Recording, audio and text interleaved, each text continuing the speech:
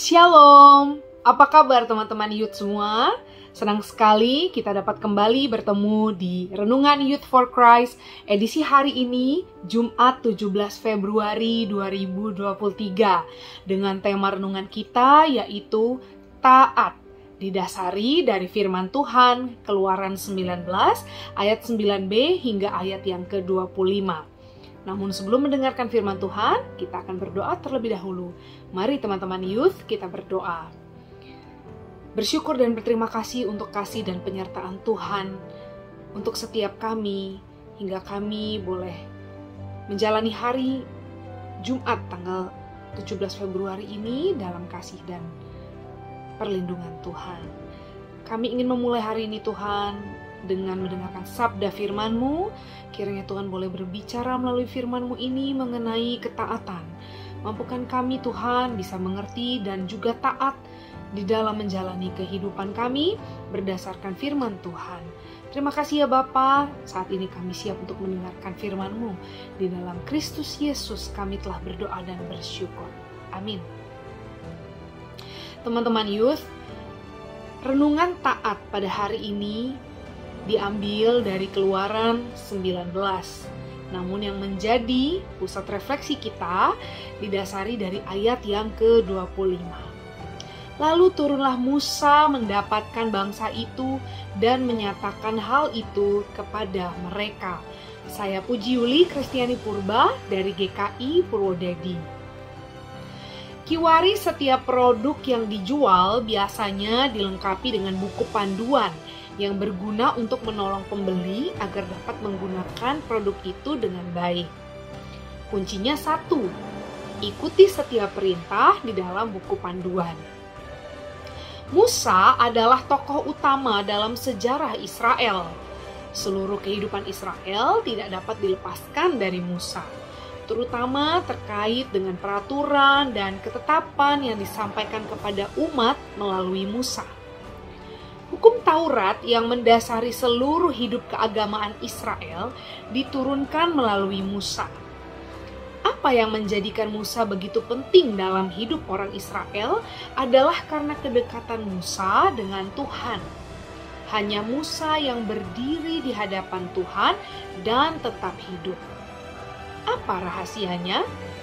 Setelah Musa menerima semua penugasan yang dipercayakan oleh Tuhan kepadanya, ia melakukan semua itu dengan ketaatan penuh. Semua perintah yang diberikan dijalani dengan taat. Tak jemu-jemu, ia mengingatkan umat agar tidak melanggar perintah dan ketetapan Tuhan. Teks Alkitab hari ini mencatat bagaimana Musa melakukan semua perintah dan ketetapan itu dengan taat dan menyampaikannya kepada umat. Ketaatan adalah rahasia dan kunci Musa untuk dapat berada di hadapan Tuhan dan tetap hidup. Teman-teman youth, ada yang bilang bahwa masa muda itu masa pancaroba, masa yang penuh dengan tantangan, seperti kuda lepas dari kandang. Karena itu, masa muda ditandai dengan berbagai macam pembangkangan, Sekali lagi, semua itu adalah pilihan. Bila kita memilih kehidupan, maka yang paling tepat, baik, dan benar adalah adalah ketaatan kita pada setiap peraturan dan ketetapan Tuhan sebagai yang pertama dan yang utama. Sudah taatkah kita? Mari kita berdoa. Tuhan Yesus yang baik, Terima kasih untuk firman-Mu mengenai ketaatan. Memang ini adalah bagian yang paling sulit di dalam kehidupan kami, di mana kami sering sekali jatuh bangun di dalam dosa. Tuhan, begitu banyak tantangan, begitu banyak hambatan kami untuk kami dapat taat kepadamu.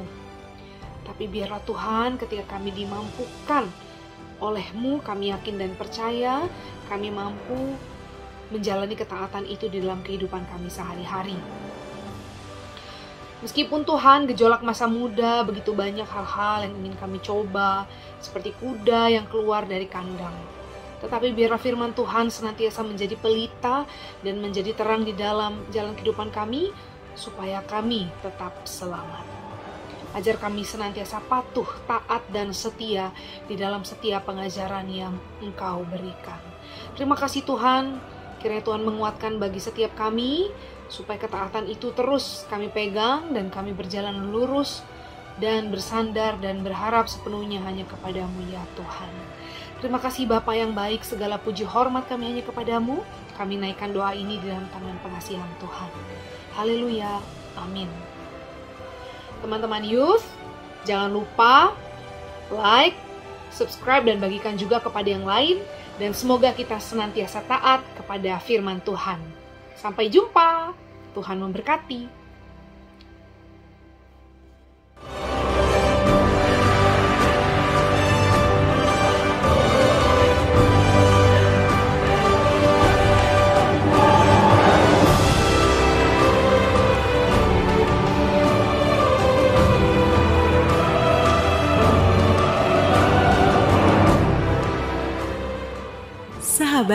Mari dukung pelayanan dan pekabaran Injil melalui YKB dengan membagikan link acara ini kepada sebanyak mungkin orang.